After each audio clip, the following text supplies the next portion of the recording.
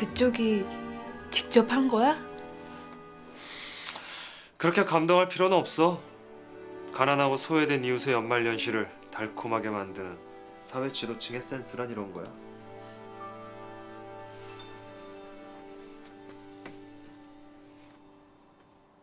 이 시간 이후부터 평창동 거실에도 서 있지도 말고 여기서 있었던 나쁜 기억들도 다 지우고 지금 이 순간만 기억하면서 잠자고 밥 먹고 농담하면서 살라고.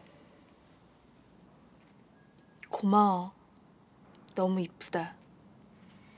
근데 싸게 했네?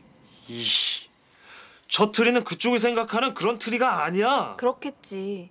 노르웨이 산림청에서 한 그루 한 그루 유기농으로 관리한 뭐 그런 거지? 와. 아영 씨몇 시에 와? 몇 시에 오면 왜? 됐다 됐어. 김비서 난데 이마영 씨 오늘 야근 좀 시켜. 아침까지 잡아놔. 걱정 마세요. 그럼 즐거운 시간 보내세요. 미쳤어? 창피하게 왜 그래 진짜? 내가 왜 이럴 것 같은데? 야, 저리 안 가? 집이 좁아서 금방 잡힐 텐데.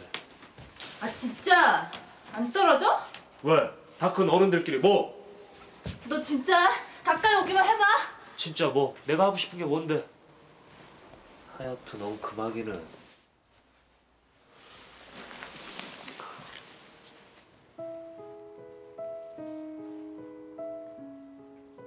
이거 할라 그랬다. 이렇게 손잡는 거. 이카쉽게 우린 뭐 이렇게 어렵냐? 이제 보내 이제.